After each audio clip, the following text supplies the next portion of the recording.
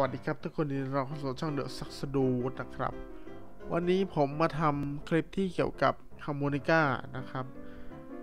หลายท่านคงจะรู้แล้วแล้วว่าฮาร์โมนิก้ากับ mouth organ ก็อันเดียวกันนะครับวันนี้เรามาพูดถึงเรื่องบางอย่างที่คนเพิ่งจะหัดเล่นอะ ควรจะรู้ก่อนเล่นก่อนซื้อฮาร์โมนิก้านะครับ อย่างแรกเลยที่ผมต้องบอกก็คือว่าคนส่วนมากจะรู้จักฮาร์โมนิก้าในนามแบบว่า 10 ช่อง ช่องเป่าเอ่ออย่างเงี้ยก็เรารู้กันอยู่แล้วเนาะ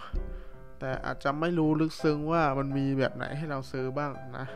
และแบบไหนที่ไม่แนะนำให้ซื้อนะจ๊ะดูแบบที่หนึ่งกันเลย ติ้งแบบนี้นะครับ อันนี้เรียกว่า diatonic harmonica นะครับ diatonic เนี่ย มันเป็นหน้าตา 10 ช่องแหละ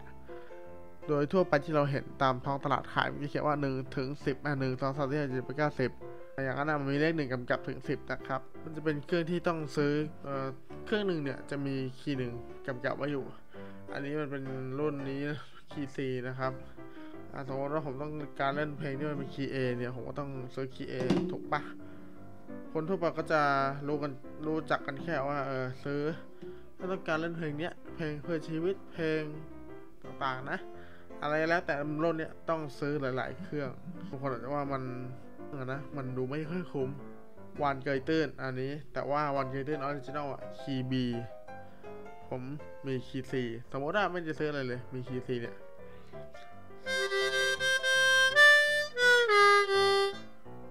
แล้วมันไปไม่ตรงขาเราโอเคผมก็ต้องเปลี่ยนเพราะมันเป็นคีเออันนี้ก็คีเอไม่ก็ไม่ตรง แต่ถ้าไปคีบีคุณต้องซื้อใหม่แหละ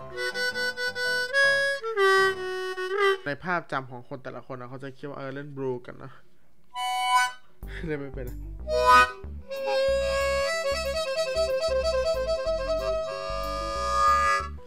แต่จริงๆมันเล่นได้หลายแบบ ก็เดี๋ยวขึ้นรูปอินเสิร์ตรูปให้ดูว่ามันมีหลาย ๆ แบบ ถามว่าที่ควรซื้ออะ ราคาที่ควรจะซื้อขึ้นไปเรื่อยๆอะควรจะราคาไหนใช่ปะผมลองมาเยอะแล้วผมว่า 900 บาทขึ้นไป ฟังใหม่ 900 บาทขึ้นไป ถ้าซื้อแค่กิ๊กก๊อก80 โทษนะไม่ได้ว่านะ คืออยากซื้อได้อยากซื้ออยากลองเหมือนเราอยากอยากลองก็ได้ ไม่ได้เอาให้ดูอะเสียงแบบไม่อยากฟังอะฟังแล้ว ปู้ปีปู้ปีหูฉันไม่อยากฟังเลยไม่ชอบอย่างเงี้ยผมมันแนะนำให้ซื้อผมเคยทำคลิปแล้วในคลิปส้มๆน่าจะแถวๆเนี่ยเดี๋ยวเดี๋ยวให้ดูนะให้ดูนะ ก็คลิปนั่นแหละจะแนะนำว่าไม่ควรซื้อของกิ๊กก๊อกมาเล่น เพราะว่ามันช่างมันมันแบบเปลืองเงินอะถ้าจะเล่นจริง ๆ เอาของแบบนี้ไปเลยไม่ดีกว่าเหรอซื้อร้านผมก็ได้ผมมีนะครับ ผมไม่ได้บังคับว่าต้องซื้อของแบบ900 ขึ้นไปถึงพันหรือ3 4 5 6 7พันนะ ซื้อจะซื้อ 500 ซื้อ 400 ก็ได้ บางครั้งผมก็ซื้อ 500 มาเล่น แต่ว่าจริงไม่ไม่อยากเสียตังค์นช่วงนี้ ดูก็ดูเนาะตัวที่2 t r e m o l o นะครับ t r e m o l o จะเป็น Suzuki นะครับ รุ่น Winner Harmonica เห็นเนาะอันเนี้ยมันมี 24 ช่อง บางคนเขาเกิดมาพร้อมแบบ ผู้ใหญ่อาจจะเกิดมาพร้อมกับทีมโมโรฮมร์โมนิก้าคือเขาเล่นไอ้พวกนี้อะก็เล่นได้แหละ แต่ว่างงเขาเล่นยืมสีช่องเขาจะเขาจะชำนาญชอกชามชำนาญแล้วเกินแต่บางครั้งมันก็ไม่มีเลขมาให้นะก็ต้องนับช่องเอาเองนะครับ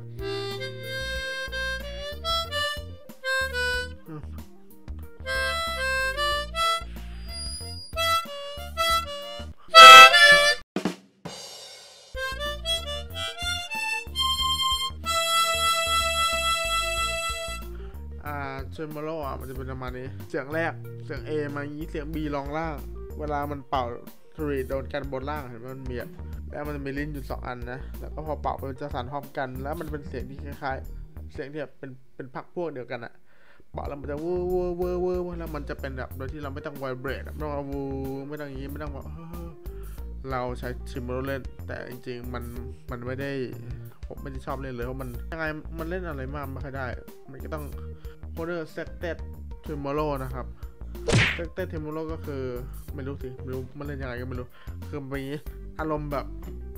มีหกตัวมีหกตัว อันนี้หกตัวติดกันอยู่เป็นแบบเป็นวงวงวงล้ออะเหมือน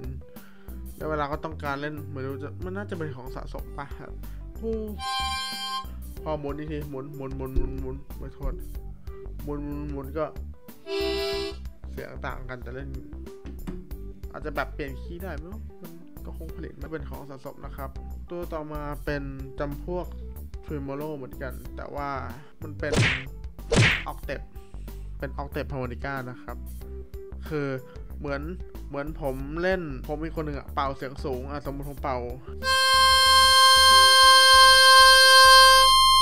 เสียงอย่างนั้นแหละ มันก็จะเป็นแบบซ้อนกัน octave ก็รู้ๆกันอยู่นะ กดเสียงสูงเสียงต่ำอะไรอย่างงี้ เล่นเป็นนกว่าตึงตึงตึงตึงตึงตึงแล้วก็กระทองก็จะตึงตึงตึงตึงตึงตึงอันต่อมาจะเป็นมี double harmonica นะครับคือเป็นอย่างนี้มันจะมีสองฝั่ง ฝั่งหนึ่งข้าง C ฝั่งหนึ่งข้างคีย์ C และคีย์ G นะครับ มันเป็นอย่างนั้นแหละก็คือมันว่าเทมโมโลมันแต่เป่าได้สองข้างมันก็คงเป็นสิ่งประดิษฐ์ที่ยุคนั้นเขาว่าสุดยอดนะนะก็นี่ก็จะมี รูเอาไว้ระบายเสียงระบายลมแบบพูดแล้วมันก็ไม่มีรูออกเพราะมันมีอีกฝั่งหนึ่งมันเป็นอีกคีย์หนึ่งไงทีมกระเป๋าฟูดออกข้างบนนั่นแหละแต่มันก็เป็นของสะสมนะครับ ไม่ใช่อะไรเยอะหรอกโครมาติกนะครับแล้วก็ข้างล่างก็ตัวนี้ก็ราคาประมาณ 8,500ถ้าเขาลดราคาเรานะนี่ซื้อกับตัวแทนจำหน่ายในไทยนะครับ อันนี้นะ ของซูซูกิเลยผมก็ปรับไม่ค่อยเป็นหรอก ตัวนี้ ไม่ชำนาญเลย ก็โกงได้แค่ช้านะบอกแล้วนะมีปุ่มไซเลนมากเลยเบามาก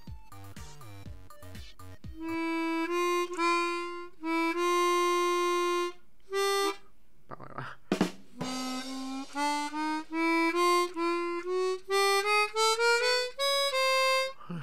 ไม่เป็นเลย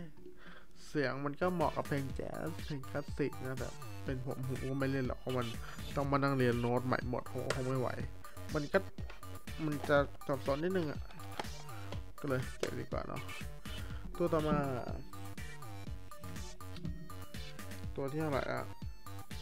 harmonica chord กดอารูปให้ดู มันเป็นแปะตรงนี้ คอร์ดก็รู้ๆกันอยู่นะ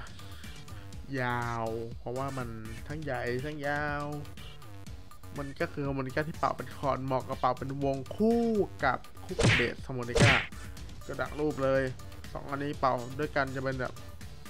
ก็สามารถเป็นเบสเป็นวงเหมือนเป็นกีตาร์คน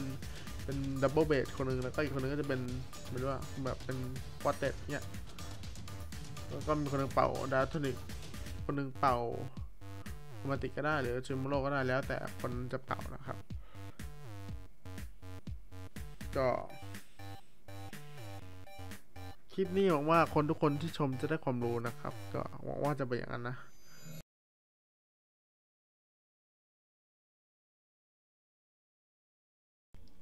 ถ้าคลิปนี้ผมพูดอะไรผิดไปต้องขออภัยมาทันที่นี้ด้วยนะครับ ผมก็อยากให้คนไทยหรือคนหลายคนได้เข้าใจว่าฮาร์โมนิกามีหลายแบบนะ ก็ถ้าใครชอบคลิปนี้ก็ช่วยกดติดตามให้หน่อยกันนะครับ ก็ขี้เกียจพูดละ บ๊ายบาย ไปละ